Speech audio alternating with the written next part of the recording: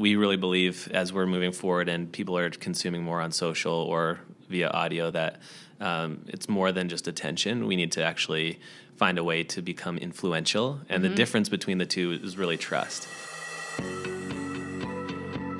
You're listening to the Small Business Mastermind, a podcast created by Olympia Benefits to help small businesses juggle business, finance, health, and wellness. I'm your host, Morgan Berna, and to subscribe to the podcast, simply visit olympiabenefits.com slash podcast. Hello, and thank you so much for tuning into this episode. This is a chattier episode with a ton of great content, so I'm going to keep this introduction short so you can get right into the episode. This one is all about content marketing and how it can help you improve the relationship between your business and clients or customers. We talk about how a small business can dip their toe into content marketing, what expectations you can have in terms of lead generation and sales with this type of marketing, and tips for companies that have already started creating content but are looking to get more results. We also dive into the backstories of Mike and Mitzi Payne, our guests today, and get a look at what has worked for their clients and business. This was a very fun one for me to record. Not only are Mike and Mitzi marketers like myself, but they also have a podcast. So it's fun. We hear a lot of stories, and I think you're going to enjoy this. Without further ado, I will let you go and listen, and I will check in with you again at the end of the episode.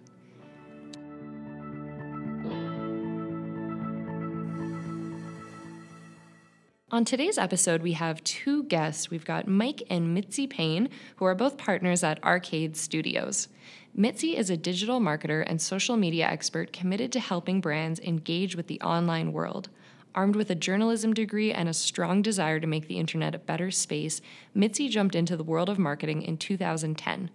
From growth hacking for an online edtech platform to launching a website and digital marketing strategy at a luxury lifestyle magazine to managing a community of die-hard indie rock fans and even covering the US presidential election in Washington, D.C., Mitzi has spent her entire career staying on the pulse of social media. When she's not staring at her phone, Mitzi is spending quality time with her husband and one year old daughter and running away to the mountains. And today we also have Mike Payne. Mike is a growth minded entrepreneur, marketing strategist, and gifted communicator. He's devoted his time to becoming a specialist in the marketing space because of the impact it can have economically, culturally, and even personally.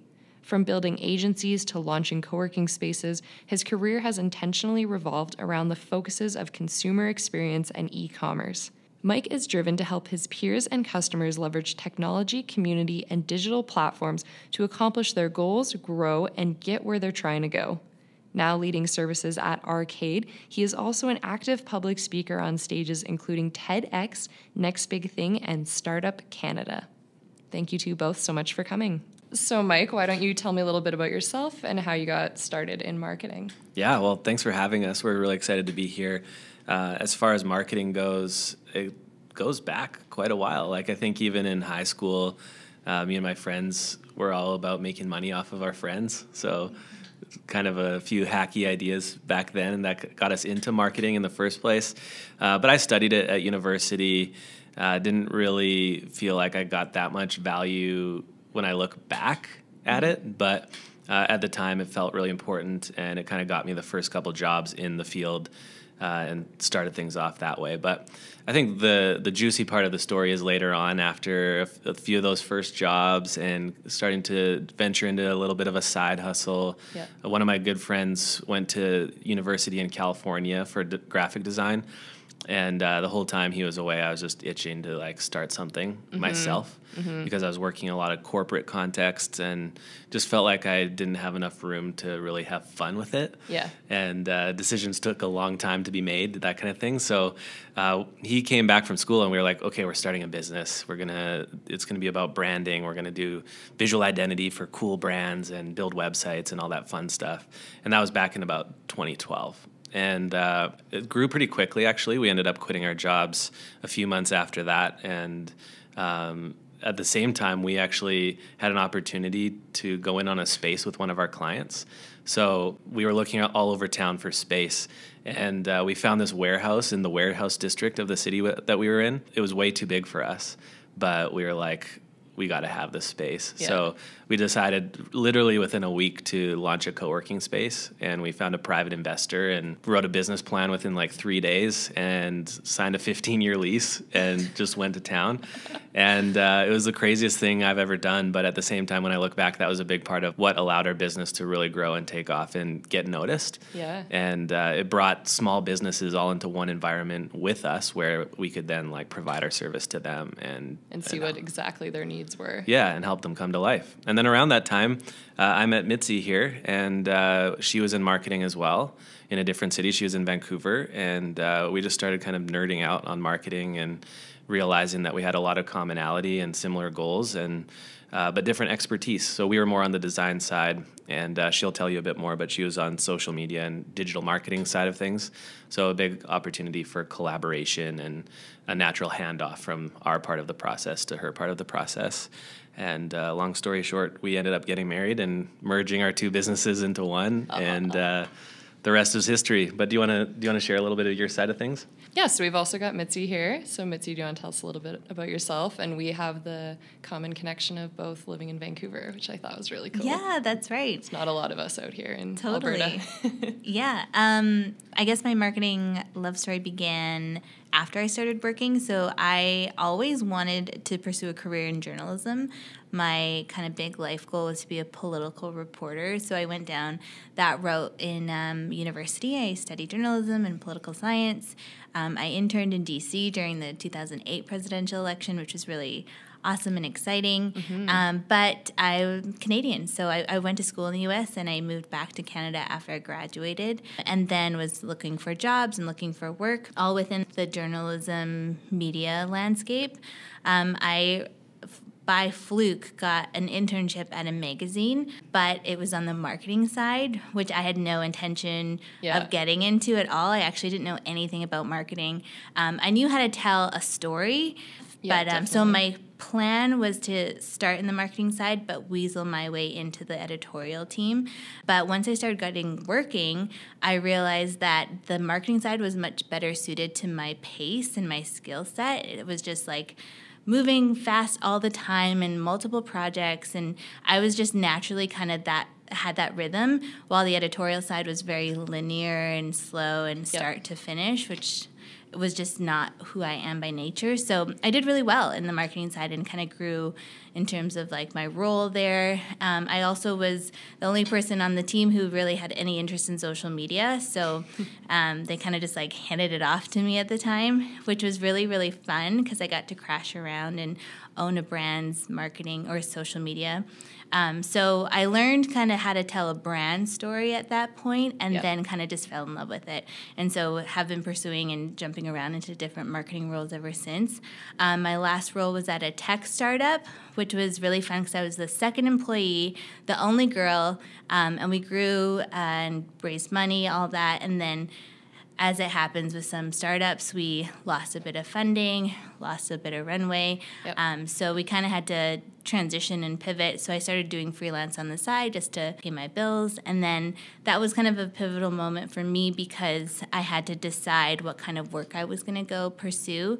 And my favorite part of my job was always social media, but it wasn't my only job. I usually had to manage multiple marketing projects or customer service teams or whatever. yeah, it's often So- just like a small piece of an Totally. overall marketing strategy. Yep. Yeah, so at that moment, I decided I was only going to take social media freelance work and just only do social media, and which is the stuff that I loved. So started getting a bit of momentum there and built enough of a demand um, that I ended up hiring someone and then started growing my business and was doing social media marketing exclusively and then met Mike and we did a lot of projects together and like you said eventually got married and merged our two businesses. It's pretty exciting. Yeah, I think it's important to note that we didn't merge our businesses because we got married, though. It was a very much a strategic decision, and uh, partly just because we were starting to see a lot of synergy and collaborating in the first place, but Yeah. also we were we were really observant of other agencies. Many of them were ahead of us, kind of in the life cycle of their business, and also in the caliber of clients that they were working with, and we wanted to get there faster but also we felt like we could do a lot of it better between the two of our teams. But then at the same time, we were duplicating a lot of overhead costs by being two separate businesses. Yes. And uh, also just kind of creating silos where we didn't need to have silos. So I had a partner at the time, like I mentioned, and uh, we all kind of really quickly arrived at the conclusion that we should be one team. And uh, so we merged and rebranded as Arcade. We were two separate names at the time. And uh, then shortly after that, my previous partner ended up uh, exiting. So we bought him out. And then it was just the, the two of us kind of leading the charge. How long ago was this? That, that was in 2018. 2018, So it's been so, two years. yeah. yeah. It's kind of neat that you both have worked for multiple small businesses or around small businesses, and now you've got your own small business that you're. I assume a lot of your clients are on the smaller side too, from what I've seen, or it looks like maybe a bit of a mix. Yeah, a lot of them are, um, especially historically. I think now that we've merged and we have just more uh, experience under our belt, we've been Yeah. starting to have opportunities with more of the medium to large cool. size brands. But that really is just like two or three out of our suite of clients Yeah. for sure. So let's talk a little bit about Arcade. What are some of the services you provide there? Maybe also, what are your favorite things to get to do with clients? Yeah. Um, so we kind of do three things well. uh, we do uh, content well, so content creation. So that's in the form of photography, videography, design. Um, and then we do distribution well, which is usually in the form of like social media distribution, so scheduling posts, managing accounts. Um, and then we also see it as distribution as influencer marketing because that's like a way to distribute content. Um, and then we do advertising, so digital advertising in like Facebook, Instagram advertising platforms, um, and then like Google advertising, YouTube advertising, all those suites. Did I Yeah. miss anything? Strategy. Oh yeah, yeah. So it, none of it really matters if you don't have a strategy. So those are kind of our big three: is strategy, content production, and distribution. Yeah. And you've got such funky creative design all over your whole site. What was your guys' inspiration for that? Yeah, I mean, I, I can't take a lot of credit for that. That's all like the brainchild of our design um, and our art director, Drew. Um, and we do have a content producer on our team. Her name's Jill. They're both really, really talented. They've always got really cool ideas and great taste, much better taste than we do. So that's why they do their job really well. But we always loved like the still life kind of vibe. And we Yeah. love being in a studio and controlling lighting and that kind of stuff. So a lot of our like content in terms of photography sits in that still life zone. Very cool. And so you've also launched a podcast, so it's called Waves. Do you want to tell us a little bit about that? And I'm curious what your, I guess, what your overall goal with it is. Yeah, I can speak to like how we launched it. Um, it's actually funny. My company before we merged was called Wave Social, um, and they did the branding and the like helped me come up with the name and all that. And they did such a good job, and it got me so much great attention, and I Yeah. loved it so much because it just kind of felt like me and like I was really proud of it. So when we merged and took on a whole new name and identity, a, a part of me was real kind of sad to lose waves, but we always kind of talked about one day we would resurface it. Um, so when we started talking about the podcast, it was just felt like a really easy match to take the brand, the waves branding and re like purpose it for the podcast. So that was really fun for me to see. Yeah, and I, as far as why we started it, um, Mm-hmm. we initially actually came to the table with the idea of building a digital course. Uh, and part of the reason we were thinking of doing that was because actually there was a lot of small businesses that we were finding needed to be in the digital advertising space, whether they were in e-commerce or not, and uh, needed to just kind of utilize those channels, but couldn't really afford having an agency to manage it for them Yeah. on top of ad spend. So they were kind of in this catch 22 situation of we don't understand Facebook advertising But we need to do it. but we need to make money somehow Yep. and get people on our website. So we were thinking, okay, maybe we actually build a course version that's obviously a lot more approachable price wise that can help them get started. And Mm-hmm. then later, once they've kind of seen that it works and scaled a little bit and just need to go to the next level, that's where we could come in. Yep. Um, and then we started working on the content, and we were like, man, it would be way more fun to just like give this away for free, you know. Yeah. And also, we were we were tossing around the idea of if we're going to ask people to pay for something, we should probably give them value for free first and build that sort of like trust relationship. Mm-hmm. So we always had thought about doing a podcast, but then suddenly it just made sense that that would be the first step that we could start sharing really valuable content for free Yeah. and uh, help brands just kind of get into it in the first place. And then later, if they wanted something like a course or to work with us directly, that could just be a, a Yeah. nice kind of byproduct. Yeah, I've really enjoyed some of the episodes I've been listening to lately. I love the first one about your whole love story. So cute. um, and then the recent one too about the cult branding I thought was quite cool. And I know you went to that that Yeah. conference. It looks neat. I wanted to ask how important you think it is. Let me rephrase. So, thought leadership companies have been talking about this for quite a while. Lots of companies do blogs, make ebooks, those types of things for their lead generation. But we're seeing a bit of a shift into media content creation.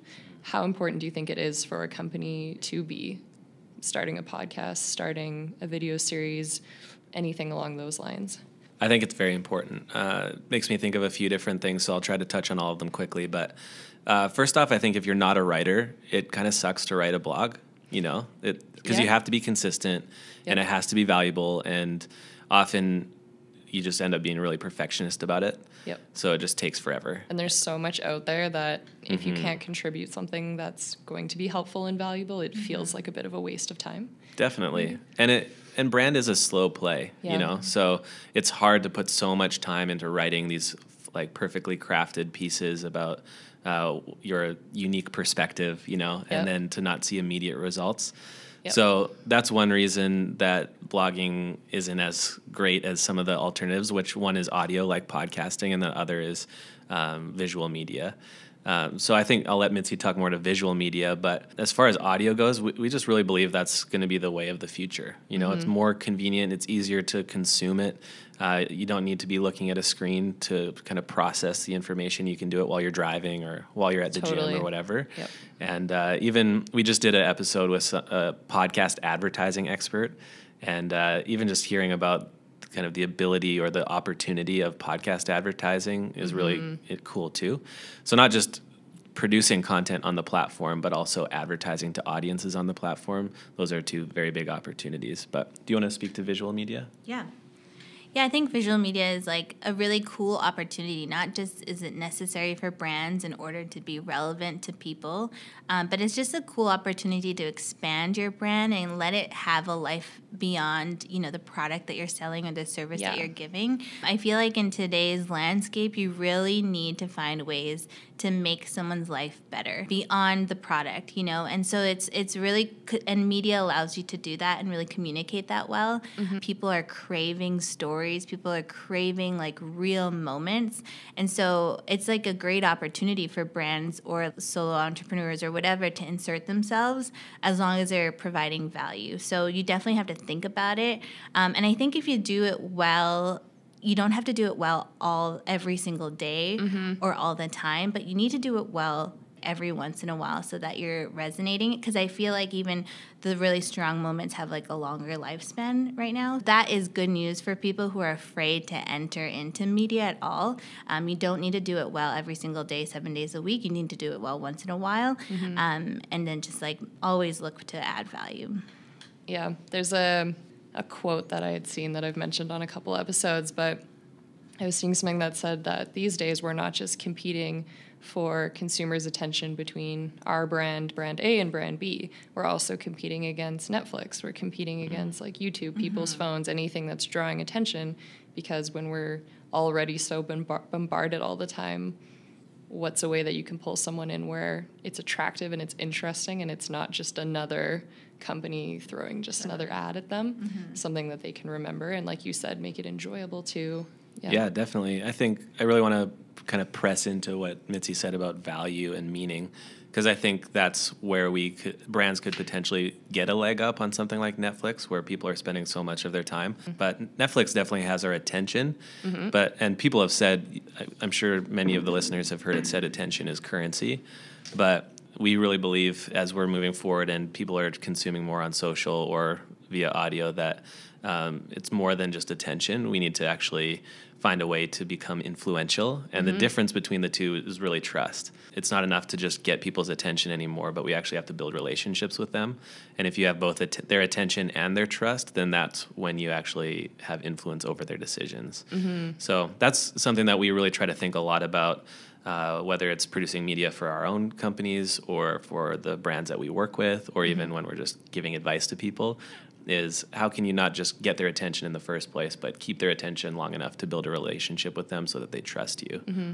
Yeah. Why do you think we're seeing this shift in what consumers are wanting? Or do you think it's just that the consumers maybe getting more of a voice these days with social media, something like that? I think they just have more options, you know, mm-hmm. more options than ever, especially online. And in certain industries like beauty, for example, uh, most customers are doing their shopping on Instagram, you know, mm-hmm. so it, it's all happening right there, right in front of them. They don't have to like go through this long click journey to to to make a purchase. Mm-hmm. Um, so it's more convenient than ever. It's more accessible, and and there's just more options. But do you have anything to add to that? Yeah, I think um, with like social media, like you can have a dialogue with customers, like you can have a dialogue with people in general, um, and brands can have dialogues with people. So that I feel like has enabled us to like become more discerning and selective of what the what kind of dialogue we want to have and we have higher standards for brands now in terms of where we're allowing them to take our attention yeah. so uh, the standards are higher there's more brands out there, there's like way more things that are vying for our attention. So now brands really have to think about like what what are they going to do and how are they going to enter and how are they going to earn your attention and earn your trust so mm-hmm. it's not as daunting as it sounds i think it's just thinking about like the humans behind you know who you're trying to reach it's yeah. not just you know the dollars that are coming in but think about like the people who are actually engaging with it and how are you going to leave them better or entertain them or educate them more than ever, brands are telling narratives that aren't true because they think yes. it'll relate. But customers and consumers and audiences in general, I think, are just craving honesty mm-hmm. and to the point that they want you to prove it as a brand. And I think that's so important to prove it. Like if you're going to make a bold claim or say that you attach yourself to a cause, yeah. like show us how you're actually attached or invested in that cause. And it's not enough to just show up and serve soup at like a, a soup kitchen one day a year with your team you know like what are you actually doing actively to make a difference in the cause that mm-hmm. that attaches you've attached to your brand statements or your mission or whatever yeah mm-hmm. it can be confusing too when you're looking at a brand and on their website and on their social media and maybe on media content everything's sort of a different voice mm-hmm. and it can get a little confusing because it can feel like oh, this isn't authentic. This is just mm-hmm. kind of pandering to me in a different way. But being able to move your values and your message across all platforms seems important. Totally. It's super important. I think people crave like to know what a brand's values are. Mm-hmm. They don't need to know everything that a brand stands for, but they want to know something so that they can align themselves with it. They want to be like, "Oh yeah, I stand for that too." And that's what makes me want to you know purchase from them or or use them as a service or whatever. Yeah. The other thing that I think especially for small businesses, I think sometimes when they enter the media landscape whether they're like creating content on you know video content or audio or whatever they act bigger than they are um, yes. which you know is tempting to do like we're a small business and like it's tempting to do that but um, people really want to just like like mike said like they want honesty they want to be along for the journey so if, if you invite someone into like the journey of your business business growth i think people really get excited about that so not yeah. trying to be bigger than you are but like really showing like who's a person behind this business? What are you trying to do with their business? Why did you start the business? All that stuff is like really low hanging fruit that maybe small businesses don't feel like they need to share but that's what people really want from small business. They want to be along for the ride. Mm-hmm. so that like you know in two years five years ten years they're like oh i remember you know? Yeah. and they get to see that growth. Feel that's like you're so rewarding. Yeah, yeah, totally. I've been following a lady down in San or uh, she's in seattle and she makes donuts. Nice. it's called the Flour Box and when I went to Seattle, I really wanted to buy these donuts, and then I was disappointed to find out that she didn't have like a physical store yet and they were just Mm-hmm. pop-ups. But since then i've continued following the social media and she's like done a whole kickstarter and she's opening a store Mm-hmm. and it's not going to be open for almost another year and like the hype is unreal. People are just so excited. They're always like posting. Yeah. she's giving out the rewards you get with kickstarters for funding and stuff. But that's it's not even started yet and she already has so many people buying into That's it just because she's showing the whole process and Mm-hmm. it's cool people don't get to see that Totally, yeah. And some people like you kind of underestimate some of your customers by like how smart and savvy they are and what their other interests beyond just like I don't know buying whatever they need to buy because like I think consumers like they're used to a lot of content but like they're craving like real stories and they're like even the human stuff that sometimes I think small businesses kind of like separate Yeah. uh, from their business. Anytime you can add emotion, I think is a win. So Definitely. Do you think some people might argue that it's a demographic thing? Younger demographics maybe care a bit more about this. What do you think about that? um, I don't think it's a demographic thing. I think anytime you can be relatable, I think that it kind of like hits home for anyone no matter where they're at. Like, sure millennials are the main, you know, market on social media and especially platforms like Instagram, but I don't think that that story or narrative is lost on people of another generation. So Exactly. it hits home for everyone. Mm-hmm. Yeah, and I think for generations older than millennials and Gen Z, they still might be consuming the information or the media a little bit differently, but they're on the same platforms. Yep. And even more than that, they care about trust and Yes. and like recommendations from a friend. And that's how they did business before social media. You know, it was really Yeah. like Larry from down the street told me about this great paver, you know, and so now they're doing my driveway. Yeah. Um, so now that's all happening on social media. Um, so it may be a new environment for them, but I think they're on it because they want to be connected and they see that it's saving them a lot of time. Um, and whether it's finding an insurance provider or like a facial cleanser, like it's all kind of happening in the same realm. Mm-hmm. Yeah, and it's hard to not seem transparent when you're quite literally having conversations online about your brand, doing videos, things like that. Mm-hmm. It can be, like you said, easy to put it on your site or make yourself seem like something you're not, but that's a little bit harder to do with media content. Mm-hmm. Yeah, for sure. And I think Mitzi kind of touched on it, but this whole idea of dialogue is really important when it comes to telling stories. Um, one thing I think, especially for some reason, B2B brands are struggling with is telling stories that invite conversation. Because um, when we think of telling stories, I think, at least for me, I think of my grandpa. Um, when I was growing up, and he would just always tell us great stories, and Yeah. he would talk and we would listen. But that's not the type of story that relates to people anymore, at least not in this context. But where I think sometimes we're tempted to treat it as a monologue. Really, what our consumers and our audiences want is an opportunity to also like be involved. So if we can find ways in the in the way that we're sharing the media that we're producing, or even just telling people what we're up to, Yeah. or what our unique perspective is, or what our product is, if we can invite them into the conversation, um, then that just becomes that much more valuable. Sometimes that's as simple as just asking a question. Yeah. Other times it might be gathering feedback about what what they want that we're not offering, or it could even just be giving them an opportunity to speak to the audience like on our platform. You know, it, there's lots of different ways to do that, but Are there any particular ways you've done that with your own businesses that have really resonated with your audience? I think the podcast is the easiest, lowest hanging fruit example. Um, for in one sense, every episode is much like this an interview. So it's not just us telling everyone what we think they want to hear, Yep. but we're curating guests based on the topics that people are interested in and the expertise that they have, so that we can kind of extract that for them. But then even more fun than that is also u- leveraging social platforms um, to collect information from our listeners who are really bought in on what el- what other topics they want or what benefited them. And we're seeing that too just even in reviews you know like people when when they are impacted or find value they want to talk about it.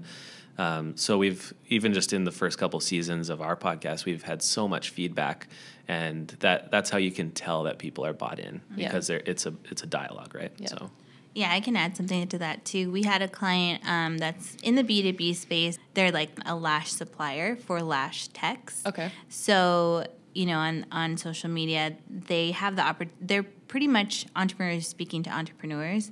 Most hashtags kind of work for themselves. So instead of just talking about product, we started talking about like you know challenges that entrepreneurs have and we didn't really have any high expectations for it but we just kind of talked about like how to fire a client. And then we got so many stories from people who are like oh my goodness, I needed to know about this or needed Yeah. some tips on this, or here's my story of what I've done and what I've learned. So you kind of like create a bit of like a, it's almost an ecosystem of like giving back too. And mm-hmm. yes, it, it's nothing related to like the actual product that they're trying to sell, but it is touching on some pain points that maybe their customers have or how to like actually add constructive dialogue to some of these things that th- all of their customers are going through. Yeah. Um, so that was a way to like have not just a piece of content go out there and live, but it really like invited more conversations and it actually became like a longer series, which was really awesome for Yeah. them. It sounds like something people just weren't talking about, but they're probably all going through that. A hundred percent, yeah. Yeah. I'm curious, I'd heard an episode you guys just posted about inclusivity in media, that type of thing. How can people make sure that they're keeping this top of mind? So, both inclusivity and maybe accessibility, because if we're shifting toward media content, that creates different challenges for people as well. Is that something that stays on your mind while you're creating content? How do you navigate that? Totally, yeah. Inclusivity is really important to us.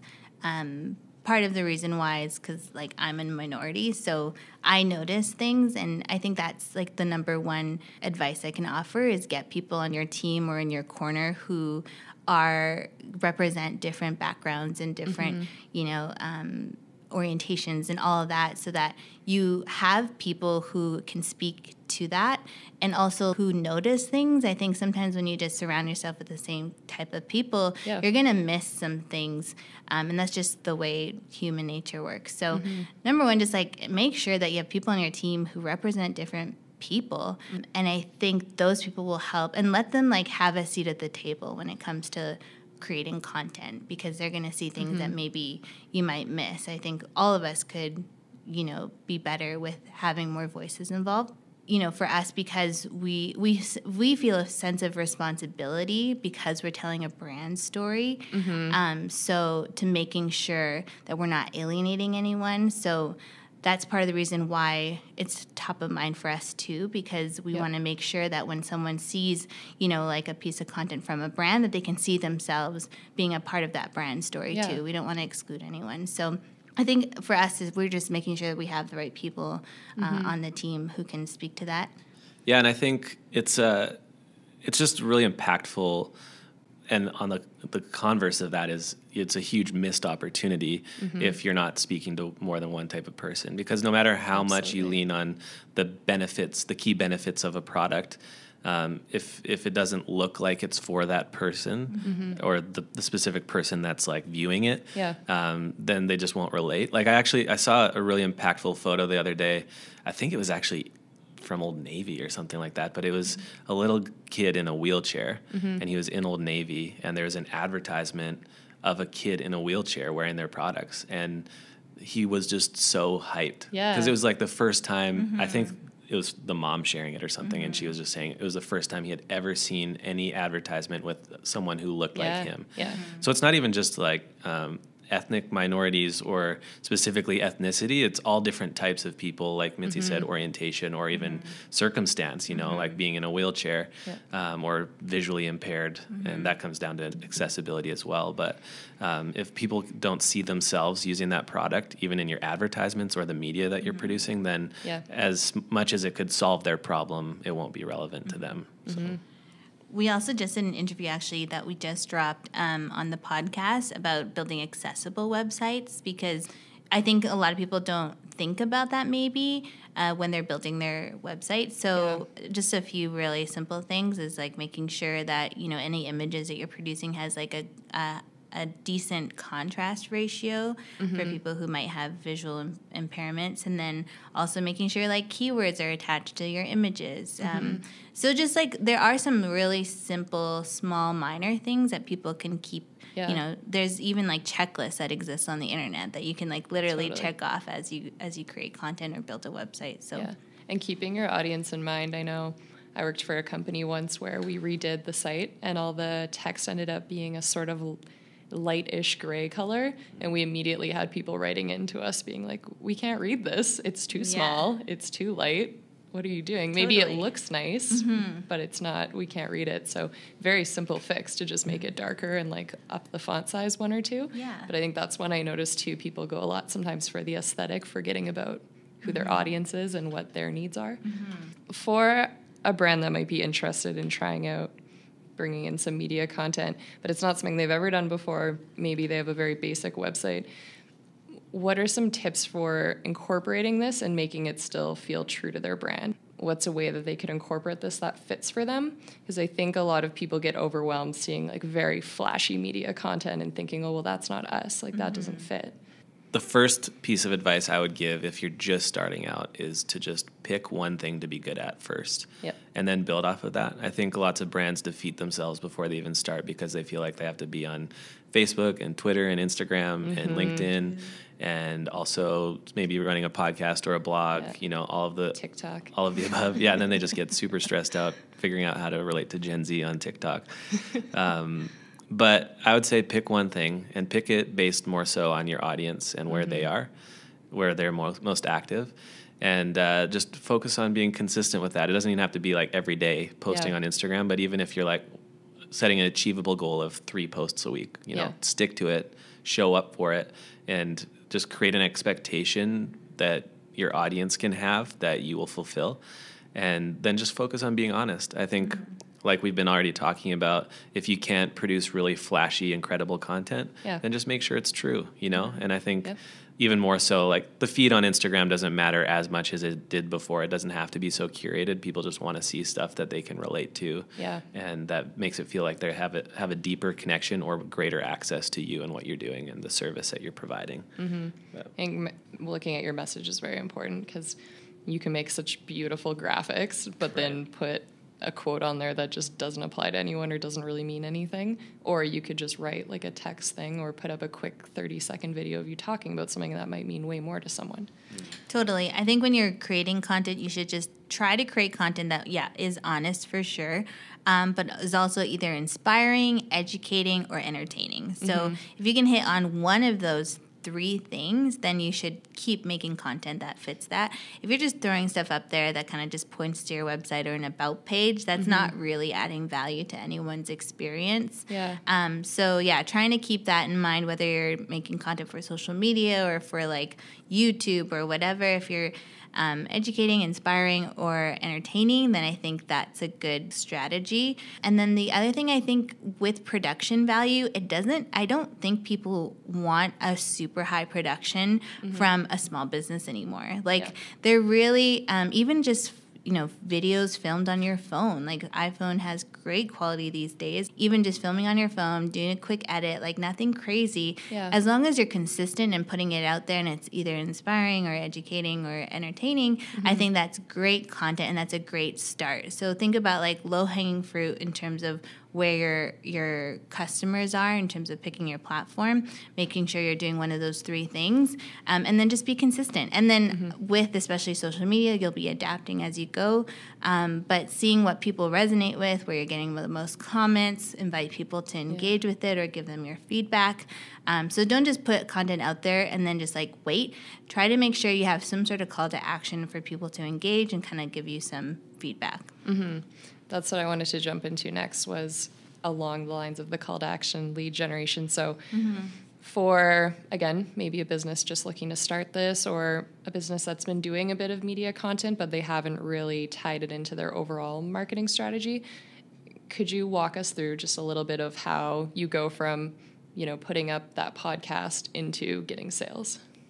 I think honestly, when people come to us asking like, "How do I generate leads with this?" Usually, we tell them to rewind a little bit mm-hmm. um, and focus. Obviously, at the end of the day, you got to get customers and you got to generate sales, but um, really, social and media end up being more of a long play. That's mm-hmm. not to say you can't get customers right away, but I think the most important thing is just that if they want to get a hold of you, they can There's Yeah. so many brands that are, end up on social, but then there's not a clear way to contact them. Yeah. So even if you like their content and you relate to them and you want to buy their product, you kind of have to go on your own journey just to figure out how. So um, we find it's really important to just focus more on on exposure and trust, like discoverability and establishing trust and building that relationship. And then out of relationship always comes leads and opportunities. So we haven't worked really hard to create this perfect funnel even with our podcast. It is Yeah. definitely a thought leadership play and we expect it to generate leads and it has. Um, but it is very conversational and then I think we just we treat paid media more as like the the place for actual conversions and leads. Yeah. Do you want to expand on that? Am I going in the wrong direction? No, I think that's good. yeah, I was just gonna say too, like there are even podcasts out there who don't have that don't have a clear way to like connect with. Like they don't have their their email on their website, or they don't even include their social handle in their like intro or outro, like stuff like that. It's just really easy, like things to maybe just do an audit on um, first to make sure that if the people want to get in contact with you, like Mike said, that they can.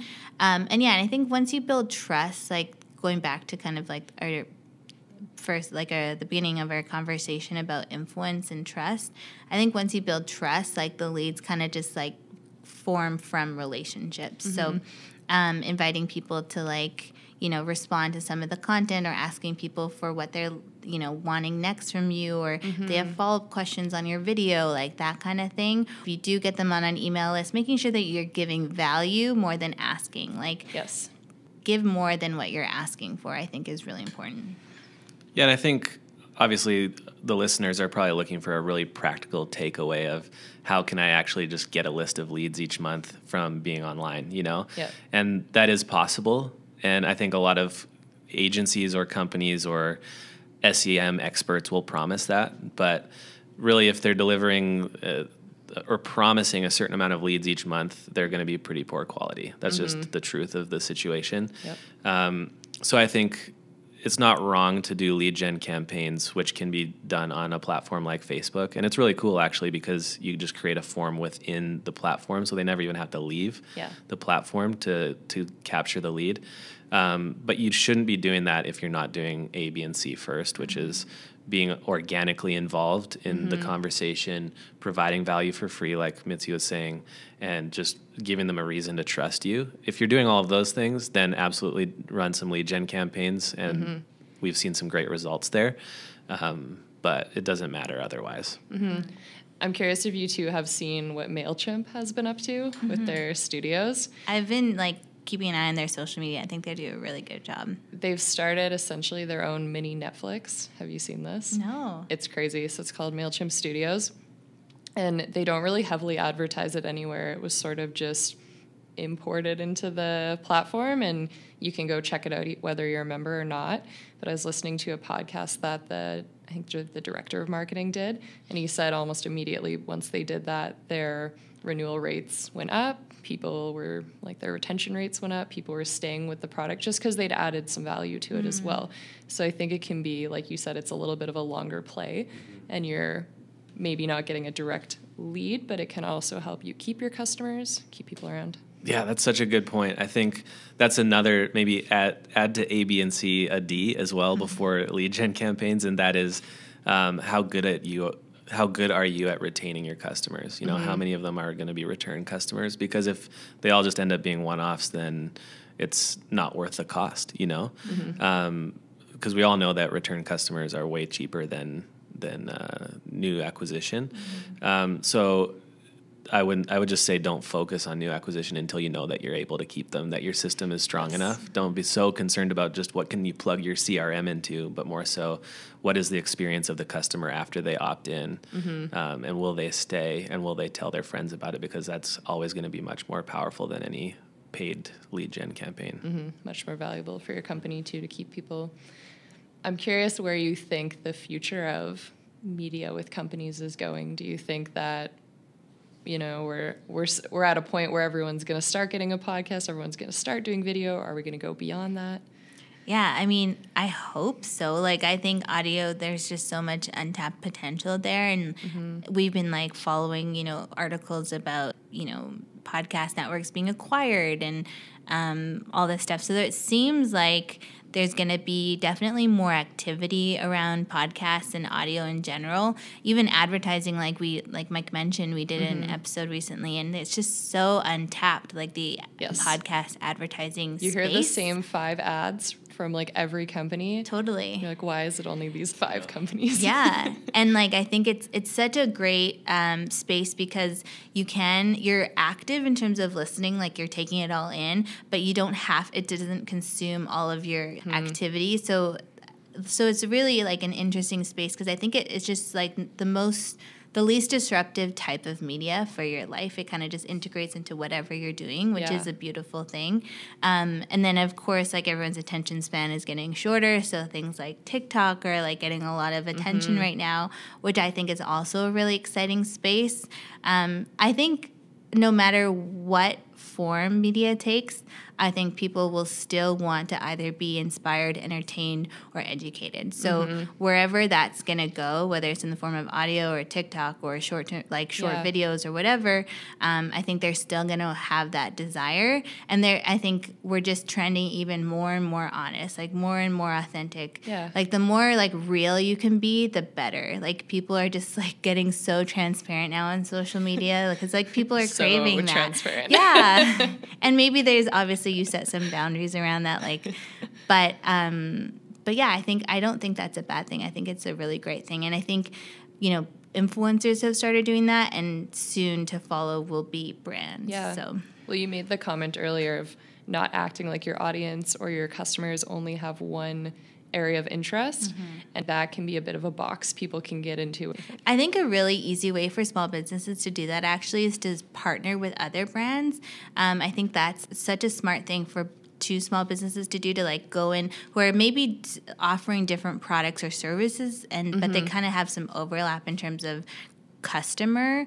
Um, so like trying to find someone that's like-minded who has like a similar approach to their marketing and mm-hmm. partnering with them to create content, I think would be a really smart thing to do, especially if you're dealing with smaller budgets or smaller production, uh, because in that way you're kind of tapping into two audience instead of one. You're also showing like some brand alignment, and then you could discover something about your potential customers that you didn't know like yeah. about their lifestyle or about their interests outside of what you're the sole thing you're offering yeah. so kind of trying to think about a, outside of the box i think would be really cool and seeing if you can find partners in that yeah yeah and i think beyond uh, audio and video and brand partnerships which was a great example but uh, i think also experiential opportunities mm-hmm. is going to be really a big part of the future of media or just advertising and marketing in general and uh, we're starting to see more and more brands do a really great job of this, um, but there's definitely room for more. And I think customers and audiences just respond really well to it.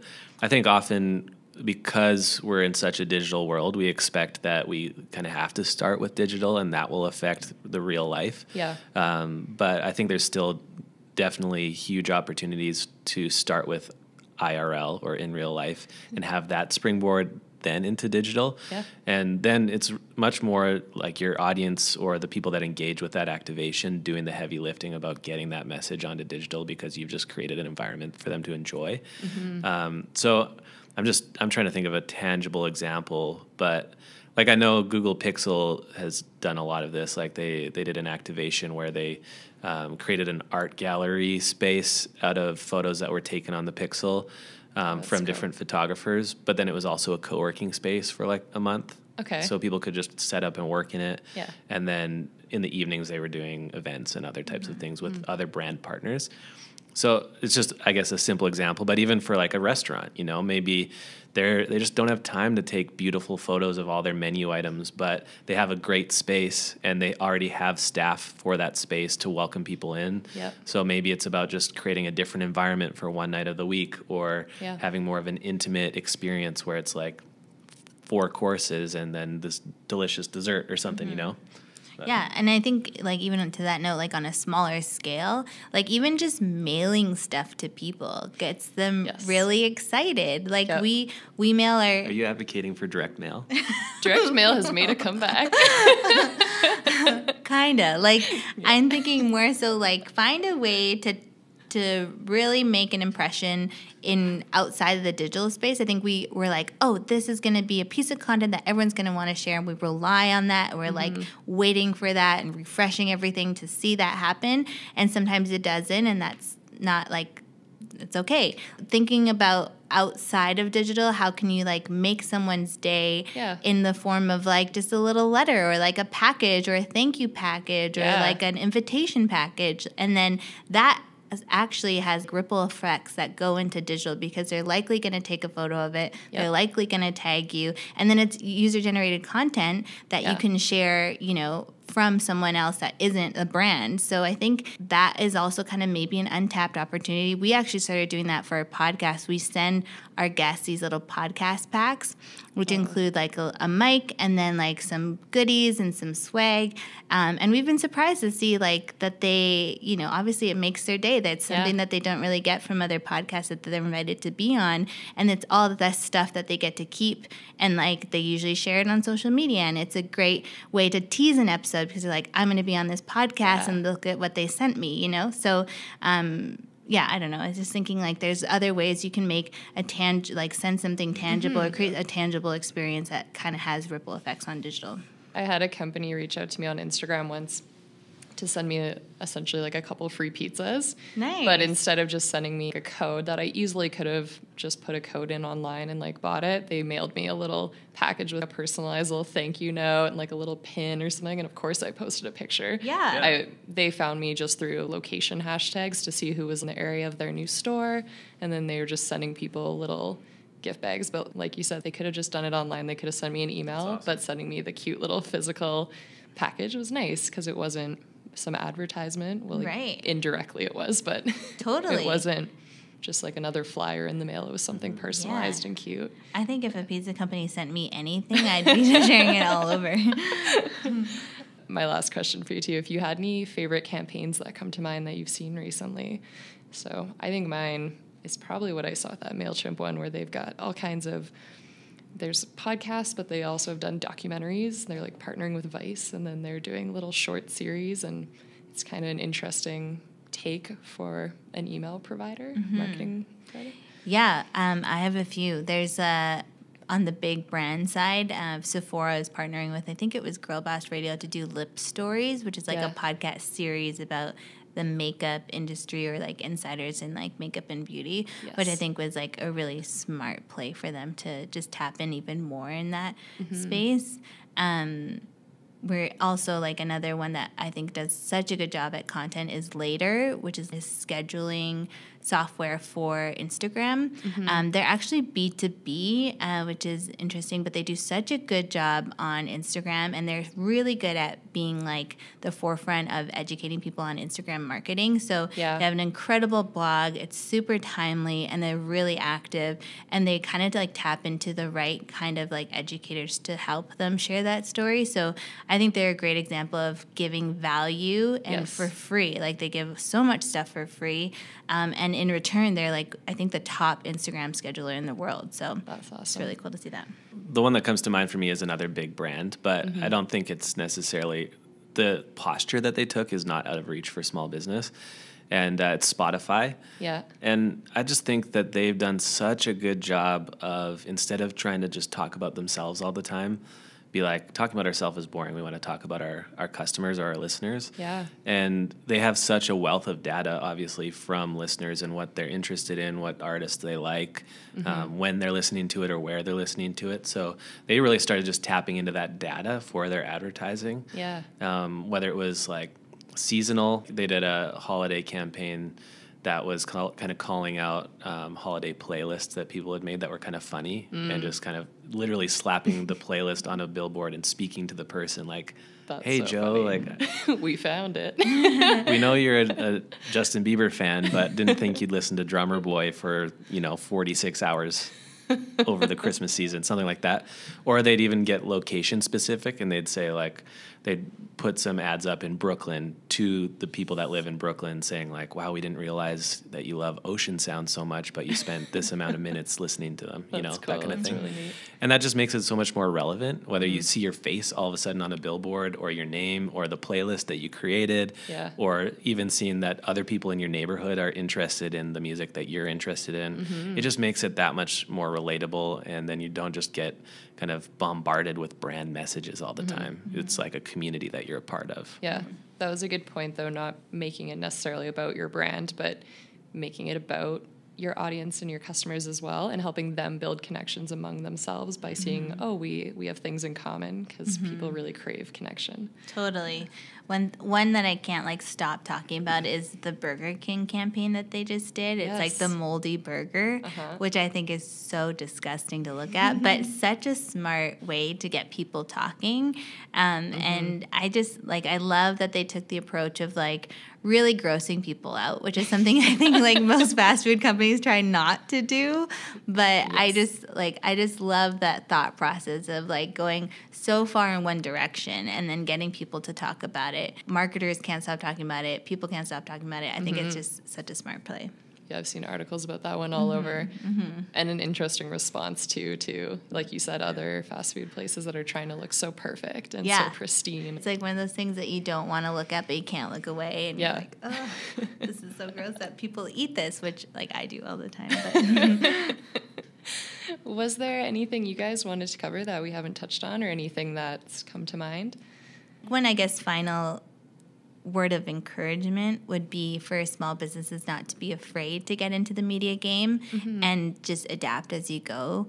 Um, I think you never know what's going to work until you know what doesn't work. Yep. So, n- not being afraid to just try it and find like low cost ways to experiment and see what resonates and then and, and adjust from there. I don't think there's very few brands that hit a home run the first time, so it's going to take some iteration and Yeah. some trial and testing. So, um, to not be afraid, to just try it. Ask a few people for some, you know, what are the platforms that they're using, and what you know. Try to look for some inspiration, and then just adapt it in a way that makes sense for you, and and just try.